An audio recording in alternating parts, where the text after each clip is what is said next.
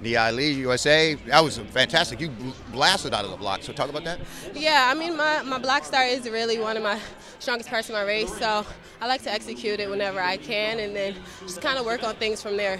So when you blast out of the blocks, if you get away and keep a clean race, you're hard to beat. I would only hope so. That's the plan. The plan is to definitely get out there and run. But I mean, a lot of these girls have really good starts, so you can't just rely on it solely. The indoor hurdles uh, uh, uh, field is really top notch for the World Championships. Uh, talk, could you talk about that a bit? Yeah, for sure. Like I'm, I'm just happy to be out here and be able to compete. These girls are only going to push me to run faster. They're going to get out here. They're going to run fast. So I'm definitely just happy to be a part of a hot race. Well, Nia, uh, good luck in the semi. See you soon. Thank you so much.